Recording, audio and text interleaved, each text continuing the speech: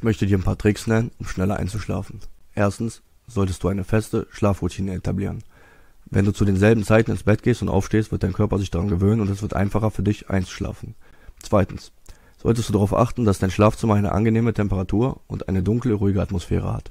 Vermeide es, kurz vor dem Schlafengehen noch Stimulantien wie Koffein oder Zigaretten zu konsumieren. Drittens, es kann helfen, entspannte Aktivitäten wie Yoga oder progressive Muskelentspannung vor dem Schlafengehen durchzuführen. Viertens, es kann hilfreich sein, sich eine feste Wind-Down-Routine vor dem Schlafengehen zu setzen, zum Beispiel indem du ein Buch liest oder ein warmes Bad nimmst. Schließlich sollst du vermeiden, zu lange im Bett liegen, wenn du nicht einschlafen kannst.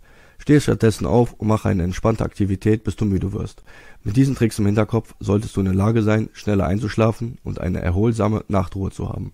Es ist wichtig, dass du dich wohlfühlst und entspannt bist, bevor du ins Bett gehst und einen tiefen, erholsamen Schlaf zu haben. Probiere aus, was für dich am besten funktioniert und vergiss nicht, es ist okay, wenn du manchmal länger brauchst, um einzuschlafen. Wichtig ist, dass du genügend Schlaf bekommst und dich am nächsten Tag fit und ausgeruht fühlst. Bro, was mache ich, wenn die Cops mich anhalten? Ja, allgemeine Ausweiskontrolle der